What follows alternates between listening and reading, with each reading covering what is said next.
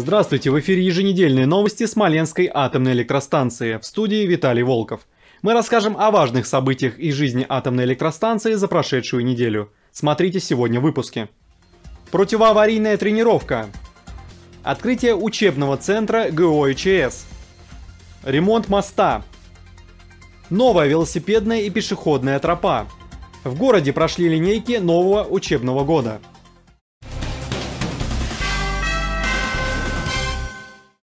На Смоленской АЭС в работе второй и третьей энергоблоки. Общая мощность составляет 2011 мегаватт. Энергоблок номер один с 5 июля находится в плановом среднем ремонте. За август месяц энергоблоки станции выработали более 1,5 миллиарда киловатт-часов электроэнергии, что превышает плановое задание на 62 миллиона. План месяца выполнен на 104%. С начала года энергоблоками Смоленской АЭС выработано более 13,5 миллиарда киловатт-часов, сверхплана 331 миллион киловатт-часов. Радиационный фон на промышленной площадке Смоленской АЭС и прилегающей территории не изменялся и соответствует естественным природным значениям.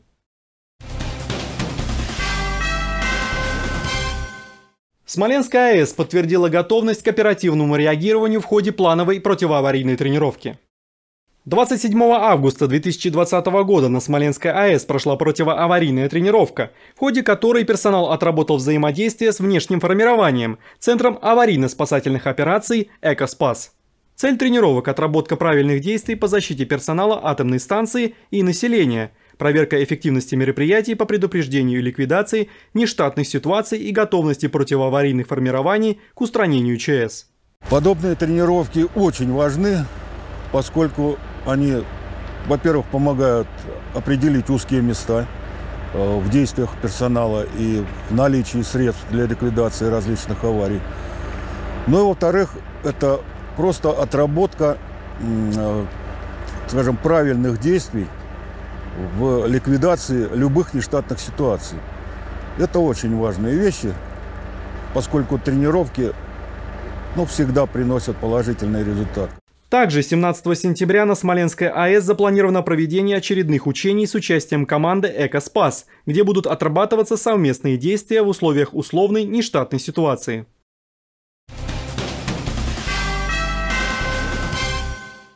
Управление по делам ГОИЧС Десногорска победило в конкурсе Фонда содействия развитию муниципальных образований Ассоциация территории расположения атомной электростанций с проектом «Атомград. Информированность и защита». На полученный грант в размере более полутора миллионов рублей создан современный многофункциональный учебный центр, который располагается в здании управления по делам ГОИЧС. Открытие состоялось 27 августа. Очередным шагом развития системы гражданской обороны нашего города является Э, приобретения уже в 2020 году специализированного спасателя автомобиля, который будет оснащен всем необходимым инструментом для спасательных операций, для каких-то операций по предотвращению чрезвычайных ситуаций. Учебный центр представлен интерактивным учебным классом, оснащенным мультимедийным оборудованием и наглядными пособиями, где будут проходить теоретические занятия в виде лекций, учебных фильмов, видеороликов и презентаций, а также демонстрационной площадкой по тематическим направлениям для проведения практических занятий. Первый этап мы успешно преодолели, мы создали материальную базу. Следующий шаг – это получение лицензии, это организационно-штатная структура, это создание и развертывание учебных планов, занятий, расписаний. И с Нового года, я планирую, мы полноценно начнем работать.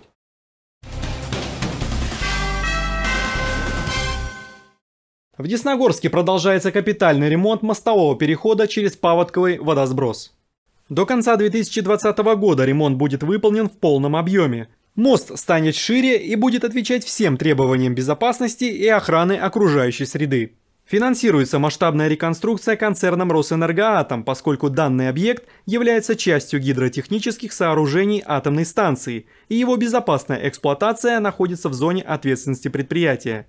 На основании заключения специалистов руководством Смоленской АЭС было принято решение о капитальном ремонте важнейшего гидротехнического сооружения, которое обеспечивает пропуск воды во время сезонных паводков и поддерживает рабочий уровень водохранилища. Было проведено обследование специализированной организации И Смоленская АЭС заключила договор на ремонт мостового перехода. Меняться будет полностью балки моста, будет мост расширяться. То есть э, проектом предусмотрено расширение не менее как на полтора метра моста.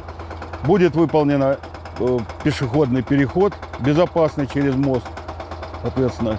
И дорога через мост станет шире. Работы ведем в соответствии с графиком. Сейчас вот работы ведутся по разборке верхнего строения, покрытия, скажем так, моста, расшивка швов, ну и демонтаж балок. После демонтажа будет там ремонтироваться опоры. И где-то в сентябре уже у нас получится, что выйдем на монтаж правой стороны. Чтобы минимизировать неудобства при передвижении транспортных средств в населенные пункты, садоводческие товарищества санаторий профилактории «Лесная поляна» разработана и согласована в администрации Десногорска и ГИБДД оптимальная схема движения с реверсированным движением, с устройством светофоров по обе стороны моста и ограничительных знаков.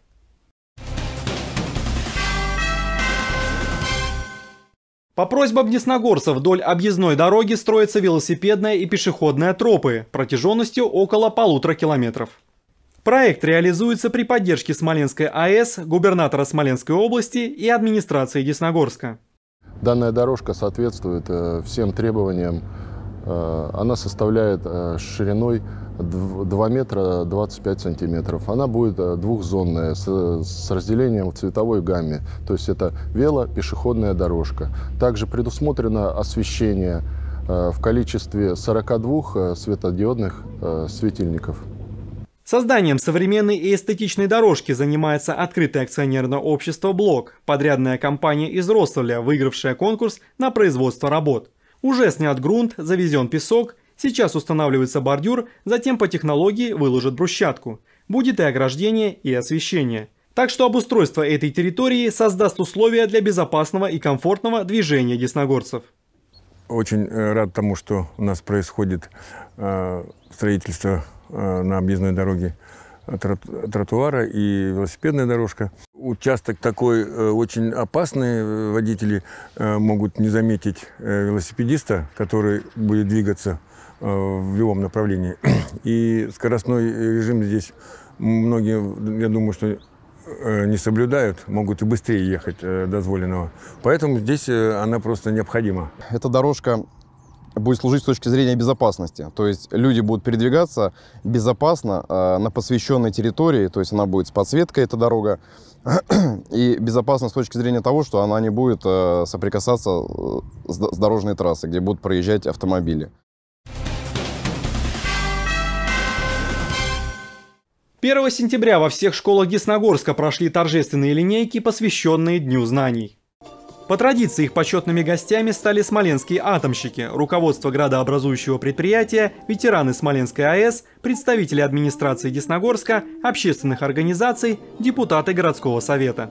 Сегодня один из самых светлых праздников в нашей стране. Праздник День знаний. С этим праздником я вас от всего сердца поздравляю. Желаю вам усердия, трудолюбия в освоении новых знаний. В новом учебном году школы Десногорска распахнули двери для 2925 учеников. Более 305 десногорцев пошли в первый класс. Учеников ждут не только новые предметы, но и изменения в школьном быту. Учебный процесс в школах будет построен таким образом, чтобы минимизировать контакты детей друг с другом. Созданы все условия, чтобы пребывание детей в школах было безопасным. Всех э, с Днем знаний и с началом нового учебного года. Школа готова э, к новому учебному году. Созданы все условия для того, чтобы пребывание детей в школе было комфортным и безопасным. Благодаря сотрудничеству администрации Смоленской области, города Ясногорска и Смоленской атомной электростанции ежегодно улучшается качество образовательного процесса. В нашей школе два юбилея. Юбилей школы 35 лет и юбилей атом-класса. Атом-класс, в котором мы с вами находимся, открылся в нашей школе в 2015 году. То есть в этом году мы делаем пятилетний набор. Атом-класс – это часть проекта школы Росатома, которая направлена на то, ну, скажем так, на будущее нашей страны. Поэтому основная задача, конечно же, атом-классов была поставлена – это подготовить специалистов, начиная уже со школьной скамьи, именно технических специальностей, работающих в атомной энергетике. За эти пять лет атом-класс, я могу сказать с уверенностью, что он действительно себя оправдал. На этом наш выпуск завершен. Вы смотрели новости Смоленской атомной электростанции. С важными событиями жизни станции вы можете ознакомиться в разделе САЭС на сайте росэнергоатом.ру, а также в официальной группе Смоленской АЭС в социальных сетях ВКонтакте, Одноклассниках, Фейсбуке и Инстаграм. А я с вами прощаюсь, увидимся через неделю, хороших вам новостей, до свидания.